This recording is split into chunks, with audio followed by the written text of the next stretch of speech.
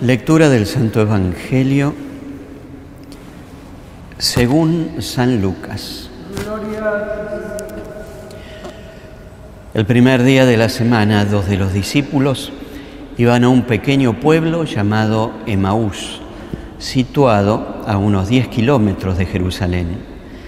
En el camino hablaban sobre lo que había ocurrido. Mientras conversaban y discutían, el mismo Jesús se acercó y siguió caminando con ellos, pero algo impedía que sus ojos lo reconocieran. Él les dijo, ¿qué comentaban por el camino? Ellos se detuvieron con el semblante triste y uno de ellos, llamado Cleofás, le respondió, Tú eres el único forastero en Jerusalén que ignora lo que pasó en estos días. ¿Qué cosa? les preguntó Jesús. Ellos respondieron, lo referente a Jesús el Nazareno, que fue un profeta poderoso en obras y en palabras, delante de Dios y de todo el pueblo, y como nuestros sumos sacerdotes y nuestros jefes lo entregaron para ser condenado a muerte y lo crucificaron. Nosotros esperábamos que fuera Él quien librara a Israel, pero todo esto ya van tres días que sucedieron estas cosas. Es verdad que algunas mujeres que están con nosotros nos han desconcertado. Ellas fueron de madrugada al sepulcro y al no hallar el cuerpo de Jesús, volvieron diciendo que se les habían aparecido unos ángeles, asegurándoles que Él está vivo. Algunos de los nuestros fueron al sepulcro y encontraron todo como las mujeres habían dicho pero a él no lo vieron. Jesús les dijo, hombres duros de entendimiento, ¿cómo les cuesta creer todo lo que anunciaron los profetas? ¿No era necesario que el Mesías soportara esos sufrimientos para entrar en su gloria?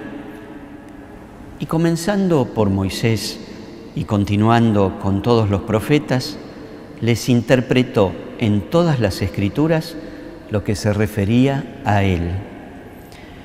Cuando llegaron cerca del pueblo, a donde iban, Jesús hizo ademán de seguir adelante, pero ellos le insistieron, quédate con nosotros porque ya es tarde y el día se acaba.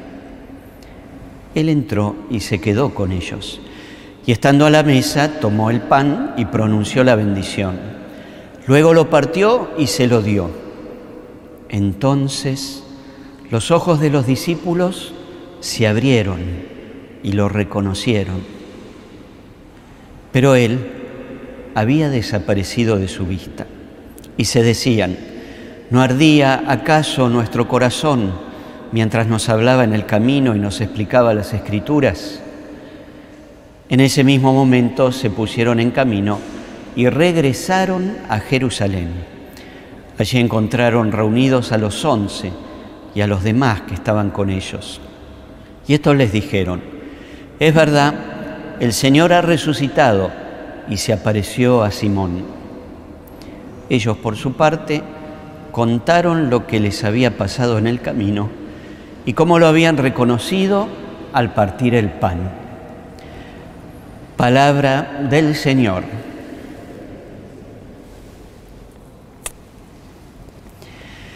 El acontecimiento de la resurrección de Cristo que estamos celebrando en esta Pascua que se extiende durante toda la semana es un acontecimiento tan especial, único, que hasta rompe los límites del espacio y del tiempo, que debe, así como lo estamos haciendo, celebrarse durante una semana entera.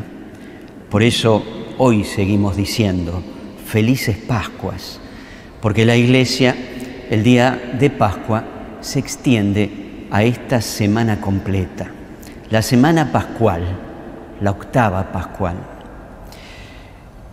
Y a lo largo de estos días, la palabra de Dios nos permite encontrarnos como los discípulos con este acontecimiento novedoso, a través de la descripción en estos días de semana de varios encuentros personales con Jesús resucitado.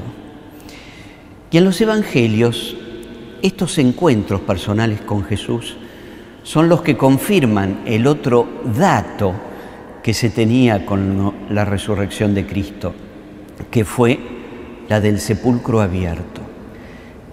Este es el primer indicio, el sepulcro abierto, el sepulcro vacío. Eso ya algo está diciendo. Y esos textos fundamentalmente son los que escuchamos en la vigilia pascual y el domingo de Pascua. El primer indicio que nos muestran los evangelios, el sepulcro está vacío. Y a partir de allí entonces la incertidumbre de hombres y mujeres que siguen a Jesús, que empiezan a tratar de comprender y entender este acontecimiento, que alcanza su definitiva luz a partir de estos encuentros con Jesús resucitado. Los evangelios, los hechos de los apóstoles, la carta de Pablo a los Corintios, nos hablan de doce encuentros de Jesús resucitado con sus discípulos, hombres y mujeres. Algunos relatados en los evangelios con detalles como el que acabamos de escuchar de los discípulos de Maús, y otros simplemente mencionados, como lo hace San Pablo en la primera carta a los Corintios en el capítulo 15, donde menciona diversos encuentros con Jesús de hasta 500 discípulos con él en Jerusalén, además de todos los apóstoles. Quiere decir que la primitiva iglesia, que después comparte estos testimonios que quedan escritos en los evangelios, en los hechos de los apóstoles y en las cartas de Pablo, fueron entonces los que transmitieron su propia experiencia y todos estos encuentros con Jesús y estas menciones a encuentros con Jesús resucitado siguen un mismo itinerario. Primero la duda, luego el descubrimiento y finalmente la fe confiada. Así lo hemos escuchado en este relato de los discípulos de Maús que a pesar que se encuentran con Jesús, a pesar que son estos mismos discípulos, lo que le dicen a Jesús exactamente todo lo que pasó. Hasta cuentan que hay discípulos que vieron el sepulcro vacío, pero sin embargo todavía no creen. Es necesario que el mismo Jesús relate todo lo que el Antiguo Testamento como profecía habla de él y será en el momento de partir el pan, la Eucaristía, cuando terminen descubriéndolo, reconociendo de todas maneras que antes algo ardía en sus corazones. Quizá lo más lindo de este relato, de este encuentro personal con Cristo resucitado, es el deseo y la confianza de los discípulos que le piden a Jesús, quédate con nosotros. Y si bien Jesús desaparece después de compartir la Eucaristía, sin embargo en ese compartir el pan se cumple el deseo de estos apóstoles. Sabiendo que es así, Jesús resucitado se queda con nosotros para siempre. Y esta es la gran alegría. Fíjense que si al principio el relato nos dice que estos discípulos estaban tristes y estaban alejándose de Jerusalén, quizás sin destino, entendiendo que ya no valía la pena quedarse allí en Jerusalén.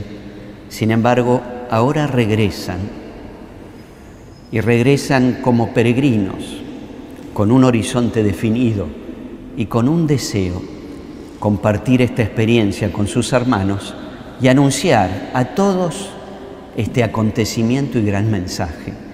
Jesús ha resucitado y vive para nosotros. Deseamos entonces que en nuestra vida personal de fe se pueda dar este mismo proceso.